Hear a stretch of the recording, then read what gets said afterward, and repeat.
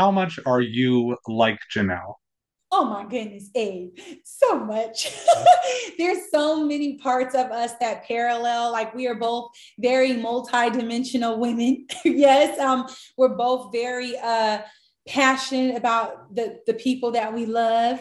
Um, we both have very big hearts, and we both um you know, sacrifice at times ourselves to be able to show up for the people that we love.